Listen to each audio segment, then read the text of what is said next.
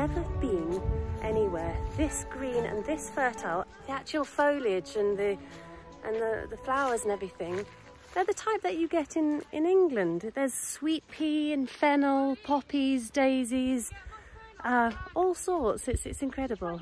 So where we are is between Santiago del Teide and Tanque, El Tanque.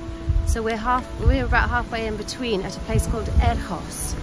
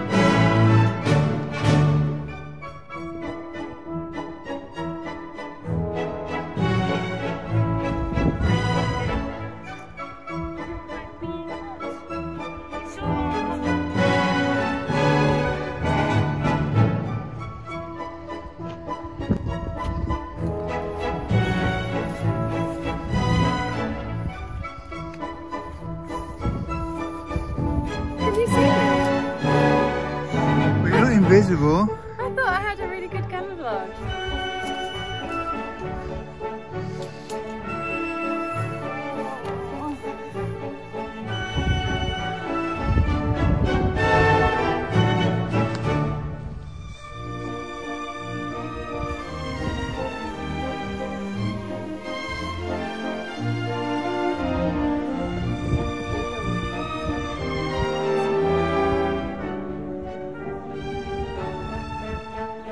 done it the wrong way round.